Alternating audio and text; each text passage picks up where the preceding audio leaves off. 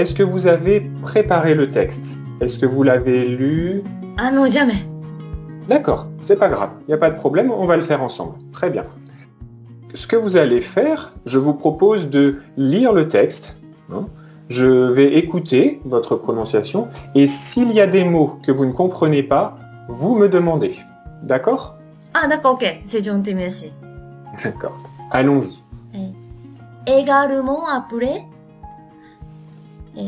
international de France ou Open de France. On de France. Oui. Le tournoi, le tournoi de tennis de Roland Garros est l'un des quatre tournois du Grand Slam avec l'Open d'Australie, Wimbledon et l'US Open. D'accord. Vous comprenez tous les mots? Hmm.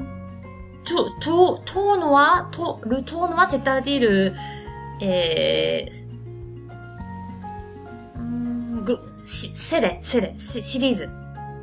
C'est c'est en fait la période où il y a les matchs avec les joueurs. C'est le tournoi.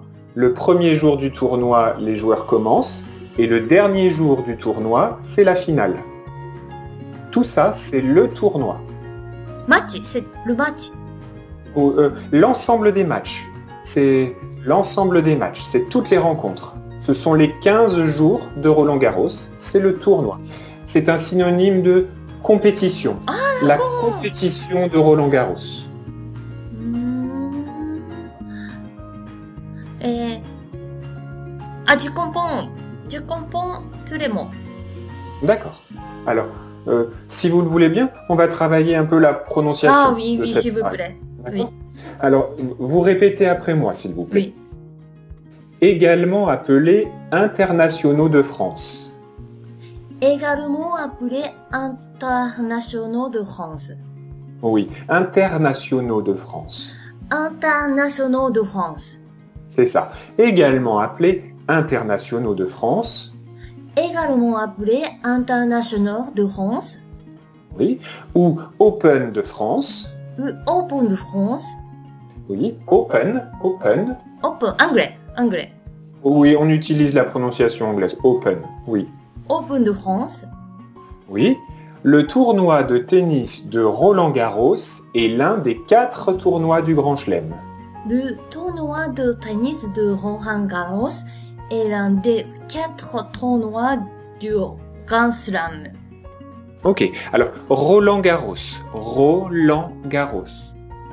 Avec l'Open d'Australie, Wimbledon et l'US Open. D'accord. On dit Australie. Aus- Australie. Australie. Australie. Oui. Austra. Australie. Li. Australie.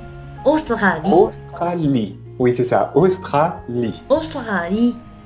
Oui, c'est ça. Très bien. C'est exactement ça. Wimbledon, on le prononce comme en anglais. Et puis US Open. Comme en Wimbledon anglais aussi. et l'US Open. L'US Open. US Open. Alors, nous arrivons à la fin de la leçon. Est-ce que vous voulez que nous fassions des révisions? Ah, s'il vous plaît. D'accord. Alors, ne regardez pas la chatbox et répondez à mes questions, s'il vous plaît. Alors, quel temps faisait-il ce week-end? Un week-end. Hmm, Il faisait froid. Il Mhm. y avait beaucoup de vent. Il a, Oui. il, il a plu toute la journée. Oui, c'est ça, le passé composé, très bien, il a plu. Euh, le matin, vous m'avez dit que vous avez été acheter des produits. Comment est-ce que l'on dit ça? Vous avez fait... J'ai fait des courses. Oh, très bien, c'est ça, des courses, exactement. Euh, ensuite, euh, vous avez cuisiné dans quel but Ah. J'ai cuisiné pour, une, pour, pour, pour, pour la semaine. Oh oui, pour toute la Ah, semaine. pour toute oui. la semaine. Oui, c'est exactement ça, exactement ça. Vous m'avez décrit ensuite euh, une recette. La première étape, c'était enlever la peau. J'ai épluché. Oh, très bien, j'ai épluché, c'est ça, le verbe c'est éplucher. Oui, exactement. Et le verbe pour dire que l'eau fait des bulles, c'est quoi ce verbe? L'eau, de l'eau, bouillir, bouillir, bouillir, Alors c'est en- c'est entre les deux. L'infinitif c'est bouillir bouillir. et l'eau bout. L'eau bout, Oui, c'est ça. Tout simplement l'eau Oui. Euh, vous avez aussi organisé une fête. Dans quel but? J'ai organisé une fête pour ma famille. Oui, c'est ça. Pour. Le but pour ma famille. D'accord. Oui. Et c'était pour fêter euh, la fin du confinement. Comment est-ce qu'on dit quand c'est la fin du confinement? Nous ne sommes plus confinés. Oui, c'est ça exactement. Nous ne sommes pas confinés. C'est on n'est jamais confinés. Nous ne sommes plus confinés. Nous avons été confinés, mais maintenant nous sommes libres. D'accord, très bien. Euh, ensuite, nous avons euh, parlé de Roland Garros et nous avons lu le texte. Alors, globalement, vous comprenez très bien. Euh, et nous avons un peu travaillé la prononciation. Ce qui revient, c'est le R. Le R en français. Oui, le R. C'est normal. C'est normal. Ce n'est pas facile en français. Euh, donc, il faut travailler un petit peu cette prononciation. Euh, ce que je vous propose, c'est dans une prochaine leçon, euh, soit en conversation, soit avec un texte, encore une fois, de travailler la prononciation avec du nouveau vocabulaire. Ah, Est-ce que ça vous convient? C'est pas fait Oui. pour moi, c'est gentil. Bon, eh ben c'est très bien, ça me convient aussi. Dans ce cas, je vous dis à la prochaine fois. À bientôt, merci beaucoup. À bientôt. Au revoir. Au revoir.